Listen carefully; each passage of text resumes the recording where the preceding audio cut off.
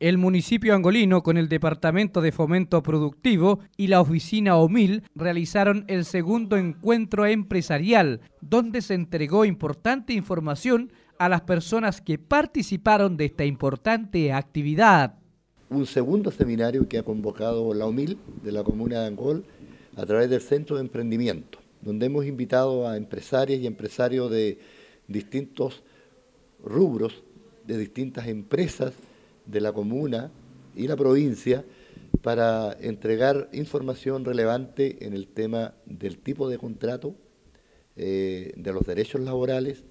de la factura electrónica, que son temas hoy día sensibles y que están sobre la mesa. Para eso hemos pedido apoyo al director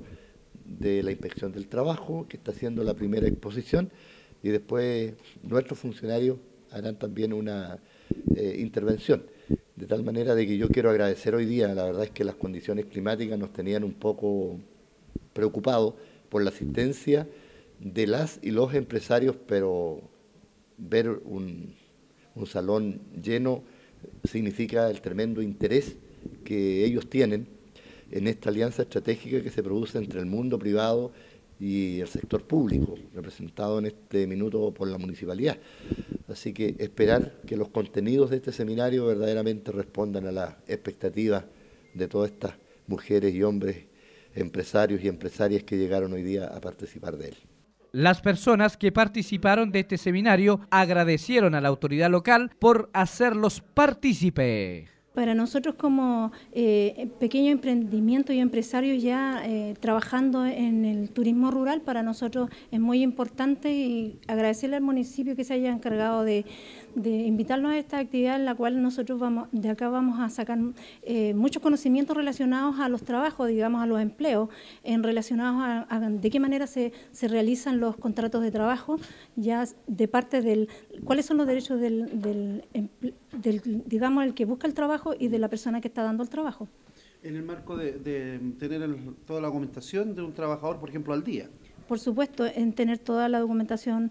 que eh, exige la inspección del trabajo para estar eh, atento a las fiscalizaciones que pudieran darse en nuestro emprendimiento de turismo rural. Ahora hay algunas personas que a lo mejor manejan, pero otros que están partiendo con emprendimientos recientes, les es muy atingible este curso. Por supuesto que sí, para los que ya están trabajando y para los que estamos empezando a trabajar, además que muchas veces las leyes laborales van cambiando también y hay, hay que estar, digamos, al día. El encargado de la humilde Angol entregó detalles de esta importante actividad. Con el objeto de poder tener un acercamiento entre la demanda de trabajo y los oferentes, en este caso los usuarios, que ustedes saben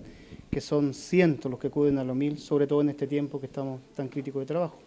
Así que es una jornada de capacitación en la cual se le preguntó a los empresarios si eran eh, los temas inherentes a ellos, que les fueran de su interés, y dijeron por cierto que sí, y ustedes pueden darse cuenta de la excelente y extraordinaria convocatoria que hay, que hay un importante número de empresarios y representantes, de las diferentes empresas de los diferentes rubros de acá de nuestra comuna de Angola. ¿Los temas que se están tratando? Son súper importantes y tienen relación directa con lo que los tipos de contrato de trabajo, cómo deben realizarse esto, cuáles son los tiempos que deben hacerse, eh, la respectiva empresa y Finalmente, el que ellos estén súper claros para no cometer una infracción con lo que respecta a la inspección del trabajo. Al final, la primera autoridad comunal agregó que este tipo de actividades se repetirá durante el año